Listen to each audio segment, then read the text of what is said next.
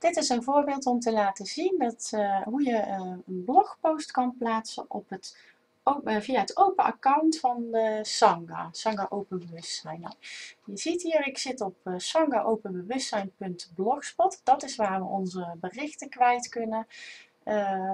Ja, dus als je een leuk persoonlijk verhaal hebt of je hebt een tip, dat kun je op Facebook kwijt, maar je kan het ook op een blog kwijt. En dan heb je iets meer ruimte om een lange verhaaltje te vertellen.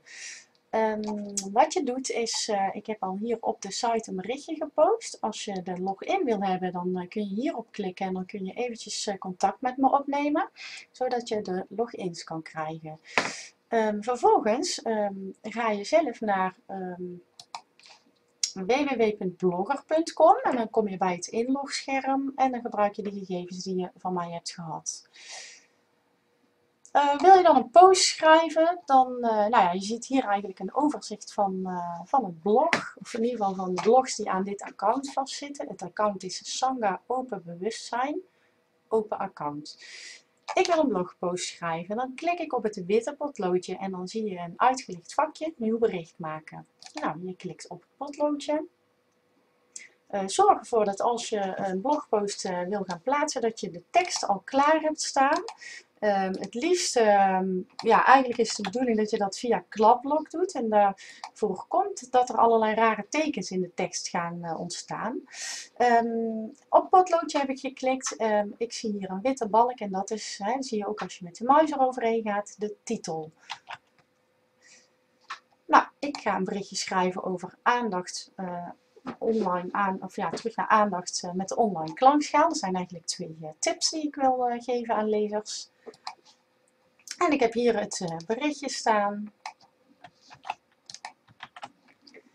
Nou, een stukje inleiding.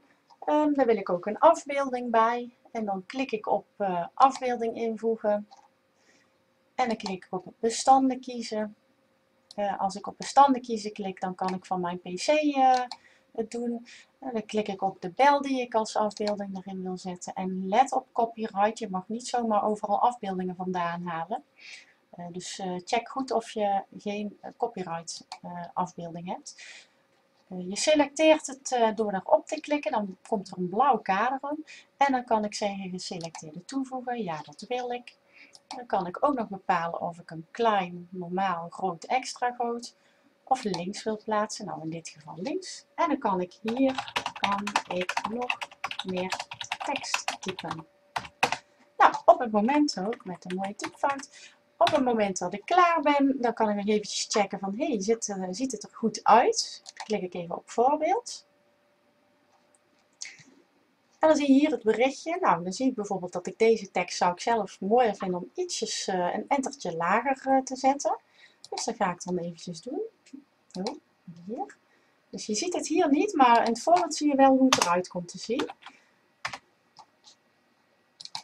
Puntje, puntje, puntje. Voorbeeld. dan zie je dat hij ververst en dan ligt hij op. Nou, hier kan ik dus nog meer. Ja, nou, zo vind ik het er goed uitzien. En dan wil ik gaan publiceren. Maar voor ik ga publiceren kan ik er ook nog even een label aan toevoegen. En een label is eigenlijk een trefwoord van alle blogberichten. Um, hè, soms gaat het over dezelfde onderwerpen.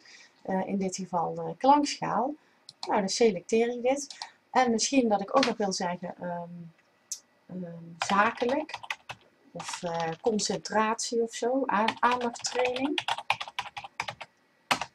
Nee, ik noem maar even dit als voorbeeld. Het is natuurlijk geen goed trefwoord, maar je kan hier dus ook trefwoorden aan toevoegen. En als je op gereed klikt, dan uh, uh, worden ze toegevoegd aan het bericht. Nou, vervolgens um, ga ik eventjes terug naar... Uh, dan, dan, kun je klikken op publiceren en dan ziet er dan als volgt uit. Ga ik even laten zien. Ehm,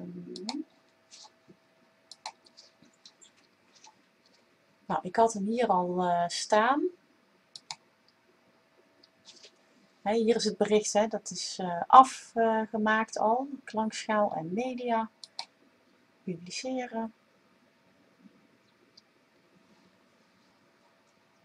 En dan kan ik hem uh, meteen op Google Plus delen, maar dat doe ik eventjes niet. Ik laat hem nu zien hoe die live gepubliceerd staat. En je hoort, ik werk dagelijks met de bel, en hier staat hij ook aan. Heb je vragen over het bloggen? Kom je er niet uit? Neem gerust contact op.